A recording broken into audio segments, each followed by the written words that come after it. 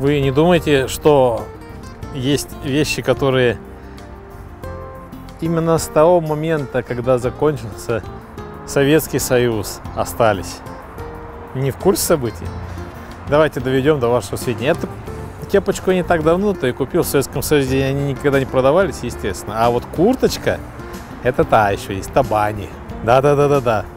Та самая классическая курточка. Или вы думаете, что кто-то раз раздобрел широко, что ли? Нет, не раздобрел широко. Ровно вернулся на круги своя. Стал симпатичным и качественным. И это симпатичное и качественное отношение мое, оно относится именно к вам. Почему я вам рассказываю, почему мы вам говорим про наше замечательное верхнеуральское пиво? Потому что, потому что, потому что оно не поменялось.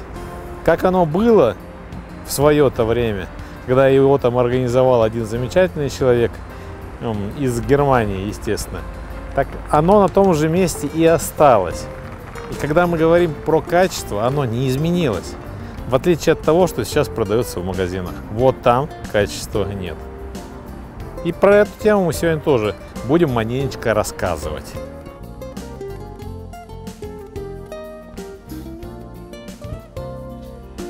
Вы не думаете, что все получилось немножко по-другому? Это у нас отдельные товарищи перетягивает немножко рейку в другой вариант. В данном случае я знаю, как жить, я знаю, как работать, как кушать, естественно. И, в принципе, э, когда я говорю про себя, да, я в мизерных количествах посещаю сетевики. Потому что, вы знаете, вот этот колбас меня немножко достал, да.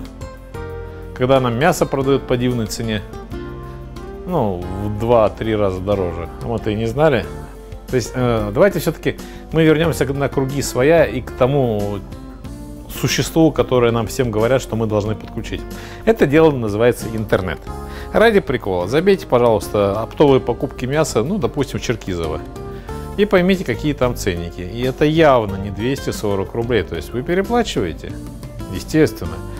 Э, вы когда-нибудь видели пельмени по цене 580 рублей за килограмм? Это какое там мясо, из чего оно взялось, объясните мне. То есть там не килограмм мяса, поверьте мне. Там, ну, скажем так, достаточно мало. А ценники, ого-го. Ну, что-то я в этой жизни не въезжаю. И, если честно, я бы вернулся на круги своя. Я бы вернулся на круги своя, и вот вопрос. Даже невзирая на то, что уже и ценники на автомобили прыгнули вверх, мы вам говорим о том, э, кто не поднял ценники на свою продукцию.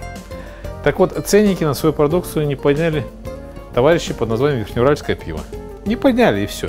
То есть, как оно было красиво и ровно, так оно и есть красиво и ровно. И когда мне человеки, приходящие и знающие... Кстати, я недавно тоже пообщался с ним.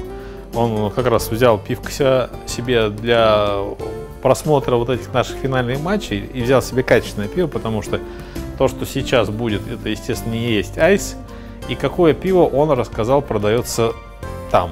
Ну, скажем так, совсем не верхнеуральское пиво. Я говорю, а почему нет? Почему человеки не могут оценить вопрос?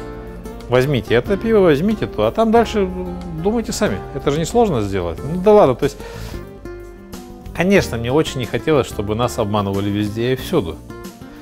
А верхнеуральское пиво вас не обманывает, потому что вы пьете тот и качественный идеал. Идеальный вариант. Почему? Потому что еще раз огромное и большое спасибо. Он вернул все на круги своя. И таких людей в городе Магнитогорске человек 5-10, не более. Как вы хотите. Обман-то всегда виден. Просто жить без улыбки над нашим дурдомом – это невозможно. Он далеко не просто веселит. В некотором, а точнее в большем случае он унижает. Но почему россияне молчат, я не вкатываю. Может быть потому, что есть магнитогорское удовольствие в виде лучшего в мире верхнеуральского пива? А почему и нет? И ведь у нас интересно все получается, да? Я сейчас ничего не буду говорить, но я был в Соединенных Штатах Америки. Честно, честно. Мы туда поехали с суммой достаточно небольшой, всего 800 долларов взяли, но тем не менее даже еще и деньги привез обратно.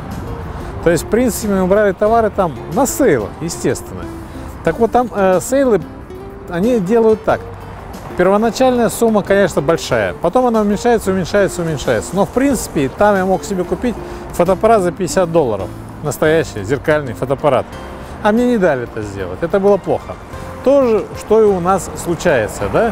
Только у нас сразу ценники... Ой-ой-ой. То есть, э, все-таки Америка чем интересна? То есть, топ, да.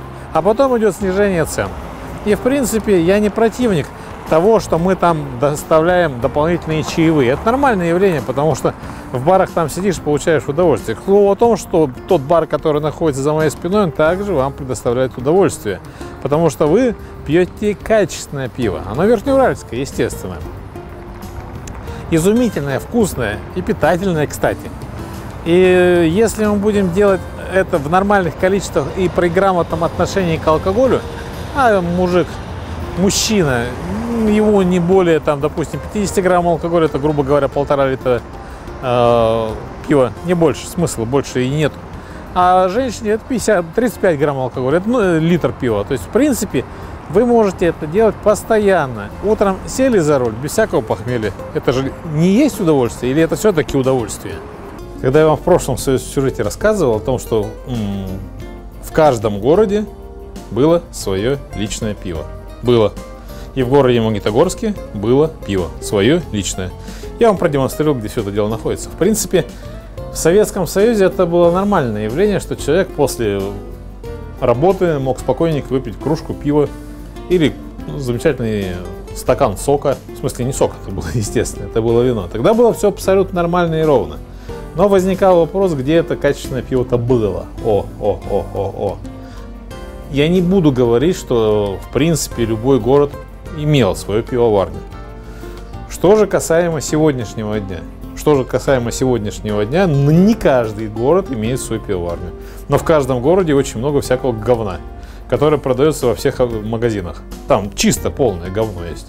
Если вы хотите чисто полное говно, это в любой магазин и будете это сами... А потом, не дай это бог, у вас будет цирроз, знаете, что это такое? Сейчас небольшой нюанс, это для тех, кто не доезжает. Это может быть вы своим детям немножко объясните, о чем идет речь. То есть давайте все-таки из разряда э, про цирроз мы говорим, да, когда печень накрылась, или вы думаете, что все там просто, да? Нет, господа мои.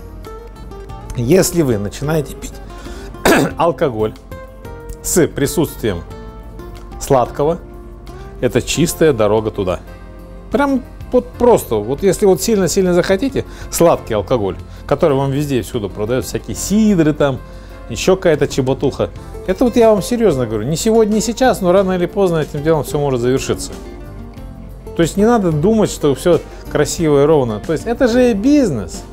Им главное продать. Главное, чтобы вы спились.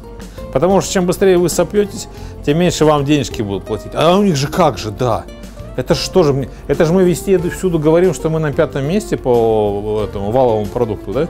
А по зарплате мы на каком месте?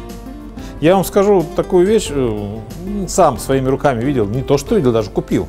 То есть, когда у нас Samsung э, Galaxy Note 3 стоил 45 тысяч рублей, я в Индии его купил за 15 тысяч рублей. Ну так, между нами, девочками. Въехали, да, немножко? И вот это у нас присутствует. Самое главное, про, сейчас про Индию мы говорим, да, то, что уровень заработной платы в Индии, уровень заработной платы в Китае, уровень заработной платы в Турции, это выше нашего 100%. Мало того, выше нашего 100% наши бывшие дивные республики.